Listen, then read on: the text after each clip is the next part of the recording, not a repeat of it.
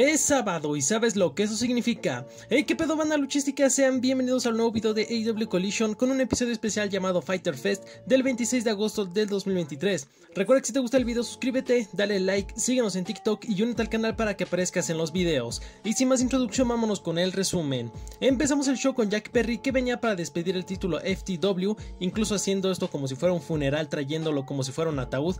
Ya en el ring lo pondría en una mesa y empezaría a hablar diciendo que siempre está siempre esto es muy difícil hablar en un funeral. Hablaría de que el campeonato tuvo sus buenos y malos momentos, pero que pasó un buen tiempo con él, así que después pondría en la pantalla unas imágenes con el título pasándosela chido como si fuera su compa, sin embargo era tiempo para decirle adiós, así que sacaría un mazo para destruirlo, pero cuando se estaba preparando se apagarían las luces y en la pantalla aparecería Hook diciendo que ese campeonato le pertenece porque está en su sangre, así que se prenderían las luces y aparecería Hook por detrás atacando a Jack Perry haciéndole un suplex y estampándolo en la imagen del campeonato y en la mesa, después romperla haciendo otro suplex y tomar el micrófono y diría que quiere el título mañana en Wembley. Luego nos pondrían una promo para hypearnos por la lucha por el campeonato mundial de AEW cuando mañana se enfrenten los mejores amigos Adam Cole y MJF Better Than You Baby. Ahora sí iniciamos la acción con una lucha de tríos Orange Cassidy, Pentagon Jr. y Eddie Kingston se enfrentan a The Butcher, The Blade y Kip Sabian. Iniciaría Penta burlándose de Kip Sabian restregándole el cero miedo en la cara hasta que le pasó su guante a Alex Abrahantes ya que lo empujaría a Penelope Ford, así que entrarían todos a darse de golpes en medio del ring donde Butcher y Blade se encargaron de Eddie, de Eddie sacándolo. Penta volvería usando a Blade para castigar a Butcher en el esquinero con una contralona, aunque por detrás Kip Sabian lo derribaría para estamparlo en el poste. Cassidy lo sorprendería después con un tope, aunque ya dentro del ring, Kip se combinaría con sus compañeros para tomar la ventaja sobre Cassidy. Regresando de los comerciales, seguirían igual castigando a Cassidy con relevos cortos hasta que los esquivó dándole el relevo a Penta haciendo su combo de Sling Blade y Canadian Destroyer. Volvería Eddie dándose de lazos a con Butcher y aplicando sus machetazos en el esquinero sobre Blade y Kip. Ya para terminar, entraría Cassidy dándole a todos unos Orange Punch, ya para que al final remate a Kip Sabian con el Back Fist y un codazo para llevarse la victoria rumbo a Wembley contra el Blackpool Combat Club. Después del combate, Chuck Taylor nombraría a John Moxley Claudio, Yuta, Santana y Ortiz. Luego Trent le quitaría el micrófono y diría que el Blackpool Combat Club todos esos hijos de perra van a pagar por lo que le hicieron a la van de su mamá. Le pasaría el micrófono después a Eddie Kingston, pero Cassidy se lo quitaría porque quería hablar, aunque ni lo dejaron porque en la pantalla aparecieron los del Blackpool Combat Club. Aunque la verdad casi ni importó lo que dijeron porque Eddie Kingston mejor se iría a buscarlos al backstage para madreárselos, aunque Claudio les dijo a los demás que Eddie Kingston ni siquiera los ve como sus amigos y solamente los está usando para su conveniencia. Cuando llegó al backstage Eddie Kingston obviamente no los encontró y le preguntaría a los de producción que sabían en dónde estaban y como no los encontró tomaría una cámara y le diría a Santana y Ortiz que no está molesto con ellos por lo que hicieron, a John Moxley solamente le diría que se haga un lado porque no quiere hacerle daño a él en Wembley porque tiene una hermosa esposa e hija pero le diría a Yuta y a Claudio Castagnoli que a ellos dos los va a quemar. Ahora nos pondrían una promo de la lucha por los campeonatos en parejas de AW cuando mañana se enfrenten por tercera vez FTR y los John Box para saber qué equipo es el mejor. Vamos ahora con una lucha en parejas John Silver y Alex Reynolds se enfrentan a Action Andretti y Darius Martin. Iniciarían John y Action ambos con el llave contra llaveo, entraría Alex para seguir con el control, pero del otro lado entraría Darius combinándose con Action Andretti haciendo una gran combinación de patadas, rodillazos y pesotones, castigando a la Dark Order. Volvería John haciéndole un bombazo a Action sobre su compañero Darius emparejando el combate, regresando de los comerciales, Darius contestaría con una doble reverse DDT y un suplex sobre Alex con una patada de action. Buscarían la victoria con un 450, pero John Silver detendría la cuenta, también dándoles varias patadas, unos antebrazos y codazos en los esquineros, para ahora sí rematar a Action Andretti con el Wombo Combo para llevarse la victoria. En Backstage después iban a entrevistar a Darby Allin y Nick Wayne, pero serían interrumpidos por R. Fox, que venía para disculparse por lo que hizo con Nick Wayne, diciendo que actuó de mala forma después de que perdió contra Orange Cassidy y que él también perdió a su padre, y lo entiende, así que le daría la mano a Nick Wayne, pero Nick mejor se iría. Por su parte, Darby le diría que sabe que lo siente y le daría la mano. Luego nos mostrarían un video musical de The Acclaim y Daddy Ass con Max Caster echándose unas buenas rimas. Ahora nos pondrían una promo para la fatal de cuatro esquinas por el campeonato femenino de AEW cuando mañana se enfrenten Hikaru Shida, Tony Storm, Britt Baker y Saraya. Vamos al tercer combate de la noche, Big Bill se enfrenta a Barry Morales. Iniciaría con todo Barry dándole varios golpes al gigante hasta que lo atrapó cargándolo dejándolo caer de mala forma, también lanzándolo y aplastándolo, para, después rematarlo con el Big Boot y la garra para llevarse la victoria. Después del combate, Ricky se metería al ring, o sea Ricky Starks, y diría que Barry Morales le recuerda a un joven Steamboat, así que diría que hará lo que le hizo a Steamboat hace unos días y le daría de cinturonazos en la espalda por un muy buen rato hasta que llegaron más árbitros para detenerlo y terminaría diciendo que la próxima semana va a traer un cinturón más grande. Luego en backstage entrevistaron a Ruby Soho donde retaría a Chris Statlander a un combate para All Out por su campeonato TBS. Vamos al cuarto combate de la noche, Willow Nightingale se enfrenta a Robin Renegade.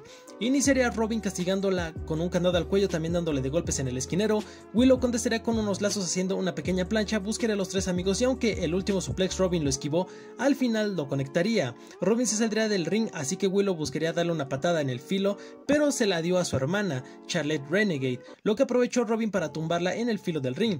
Regresando de los comerciales, Willow aplicaría su rompespinas aunque se salió de la cuenta Robin, mientras en backstage veríamos a Mercedes Martínez y a Diamante viendo el combate. De regreso Willow fallaría la bala de cañón así que Robin le daría una patada, en ring las hermanas buscarían un doble suplex, aunque al final lo revirtió Willow para ahora sí rematar a Robin en el ring con el bombazo para llevarse la victoria.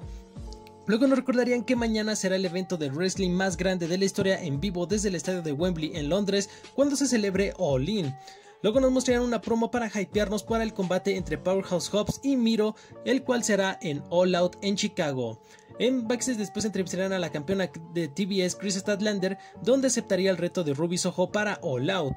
Vamos ahora con un combate ahora entre Kid Lee y Siki Dice. Iniciaría Kid dándole un lazo, Siki contestaría dándole de golpes, pero rápido Kid Lee lo lanzaría con una tacleada para rematarlo con un bombazo para llevarse rápido a la victoria. Luego veríamos la continuación de lo que pasó contra Lístico y Perro Peligroso, donde los veríamos siendo golpeados por la gente que los secuestró hasta que al fin despertaron y ambos acabaron con todos. Aún así, ambos quedarían en el suelo como desmayados mientras llegaba otra persona aplaudiéndoles y quedaría todavía esto en una continuación. Luego Samoa Joe hizo su entrada con el micrófono en mano y se presentó como el rey de la televisión. Contó que no podía interferir en el main event porque si no perdía su oportunidad para enfrentarse a Punk en All In, pero aún así va a ofrecer su experiencia como comentarista experto. Guiño, guiño. Luego llamó cobarde a Punk por lo que pasó la semana pasada, aún así lo mantendría como un profesional, es un hombre satisfecho que tiene lo que quiere, la lucha que quiere con 100 Punk y mañana en All In le va a dar la patada en el trasero que necesita el Ponqueto. Y como siempre, antes del main event tuvimos la clásica cartelera, donde mañana en vivo desde Wembley tendremos All In, donde en el Zero Hour en el pre-show tendremos lucha por los campeonatos en parejas de Ring of Honor, Aussie Open contra Barrett and You Baby, y también lucha por el campeonato FTW, Jack Perry contra Hook.